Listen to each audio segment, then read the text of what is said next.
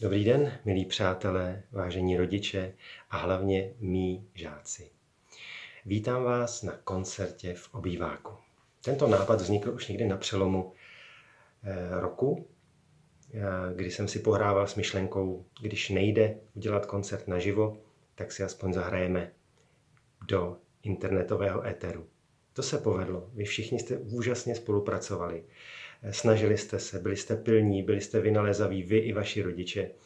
A těm bych chtěl moc poděkovat za to, že eh, vy dáváte vašim dětem tu podporu, eh, neustále se snažíte mm, je hnát ku předu, eh, což je teď více na vás, protože já je vídám opravdu jenom takhle přes telefon a nejsem s nimi osobně. Je to tedy hlavně váš, vaše zásluha.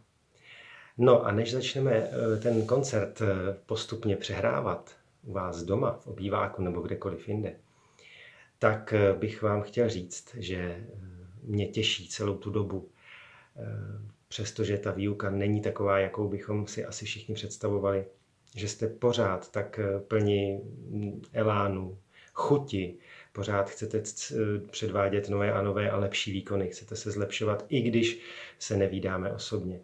Eh, je to pro mě inspirace, že ačkoliv doba je taková, jaká je, eh, můžeme dělat, můžeme se snažit být lepší.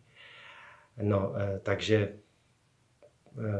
budu rád, když co nejdříve už tahle ta distanční výuka zmizí a budeme na ní vzpomínat už jenom s úsměvem na rtech a opět se vrátíme zpátky do těch tříd a budeme moct dělat hudbu naživo a spolu.